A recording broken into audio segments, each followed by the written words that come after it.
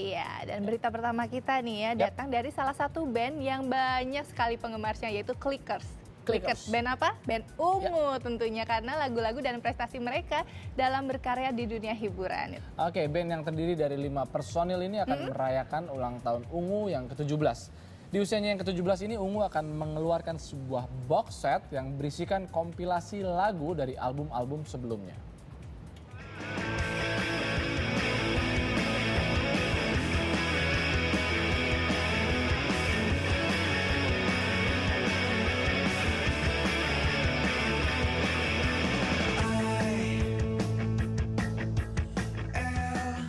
Ada beberapa hal kita lagi lagi nyelesain eh, tour memang sampai awal tahun depan masih ada komitmen tour sama beberapa eh, klien.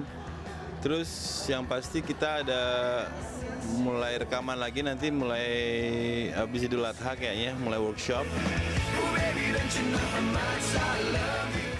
Bulan Desember itu ada acara sedikit besar karena kita mau bikin event mengenai Ungu Fest 17 tahun Ungu. Nanti ada ada something spesialnya kita bikin box set dari kompilasi semua album kita di 13 album ya. 13 album kita bikin box setnya ya kurang lebih itu. Album terbarunya rencananya awal tahun depan kita rilis. Eh, materinya udah mulai digarap. Yang pasti kita udah mulai workshop. Rekamannya sendiri mungkin akhir tahun kali ya. Bulan Desember Januari gitu deh. Ya kalau bicara tentang peminat ungu, semuanya menyenangkan ya, semuanya menyenangkan. Eh, tentunya tingkah laku mereka justru eh, adalah hal yang menarik buat kita. Apa pun yang mereka lakuin ya. Eh, namun ya mas, selama selama itu memang eh, masih dalam batas-batas yang wajar, saya pikir semuanya menarik lah. Semuanya menarik apa yang dilakukan. Yang kita sebut unik itu mungkin eh, beda-beda tipis sama lucu ya. Jadi ada beberapa fans kita dulu yang ngejar-ngejar kita, eh, kita naik bus, dia ngejar naik motor, atau masuk got gitu kan. Terus ada yang sampai lucu, lucu karena apa? ya bukan maksudnya, ya karena kita kan pikirnya kok bisa sampai jatuh gitu loh. Even lo ngikutin, ya harus tetap harus tidak boleh melanggar lalu lintas kan begitu.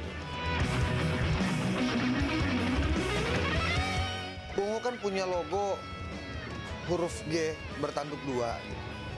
Apakah itu menjadi eh, simbol di kaos mereka, di celana, jaket dan lain sebagainya itu sah-sah saja sih. Cuman kalau yang baju-baju ungu itu memang merupakan merchandise kita juga. Jadi ya mohon maaf kalau misalnya kelihatannya terlalu banyak di lapangan atau terlalu banyak di mana-mana ya ya memang memang, ya, memang itu merchandise. Harapan terakhir kita ya semoga kita selalu dalam kondisi sehat. Nah, walafiat terus ungu juga eh, terus apa namanya stabil. Terus yang paling utama adalah bagaimana caranya industri musik kita bangkit kembali. bangkit kembali tidak kronis seperti hari ini. Eh, ya dan lain-lain lah. Takkan pergi. Bila kau anggap aku ada hanya mencintamu pun aku bisa. Takkan kusesali hidup tanpamu aku bisa. Akan hanya cinta yang ku bawa pulang. Happy Sweet Seventeen ya, Seventeen ya. untuk ungu. Jadi sebenarnya 17 tahun itu udah bulan Juli, tapi sekarang ini ada perilisan dari box setnya.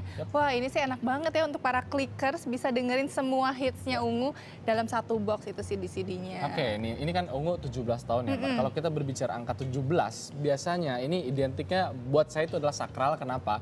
Ini masa transisi dari apa eh, perubahan biasanya kalau kita sebagai manusia itu artinya dari perubahan dari masa anak-anak remaja ke dewasa. Remaja ke dewasa Ya awal kan? ya. Dan mudah-mudahan di usia yang ke-17 ini untuk Ungu semakin dewasa dalam bermusik ya kan dan apa namanya?